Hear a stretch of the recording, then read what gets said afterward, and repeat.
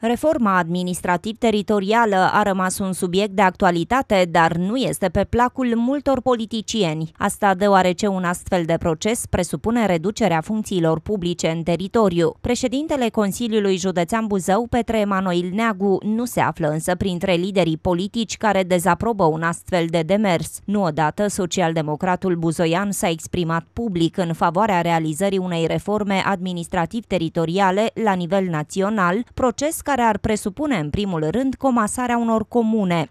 Neapărat trebuie să fim uh, înțelepți, trebuie să ne gândim, chiar dacă o să fie și pierdere electorale, trebuie o nouă, împărțire administra- o nouă împărțire administrativ-teritorială a României, pentru că actuala împărțire administrativ-teritorială este de foarte mulți ani, știți foarte bine, din 1968 și trebuie reașezate anumite, anumite lucruri.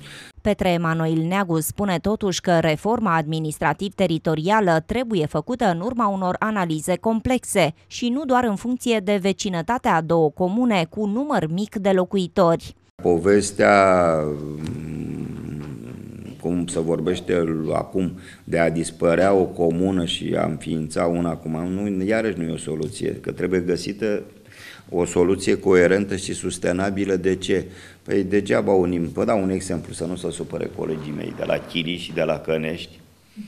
Așa că e cam povestea aia. Am trei gropi, voi presa mă sesizați, eu mă duc repede și vorbesc cu ăștia de la drumuri, bă, mai săpați puțin și faceți una și eu vin a doua zi, domnule, nu mai sunt trei, sunt una, dar avem una și mai mare.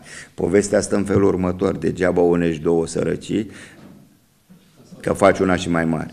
În cele aproape 3100 de comune din țară, 89 dintre ele au sub 1000 de locuitori, conform datelor de la ultimul recensământ, cel din 2011. Județul Buzău, de exemplu, are patru comune cu populație sub 1000 de locuitori. Este vorba despre Valea Salciei, Mărgăritești, Chiliile și Pardoși.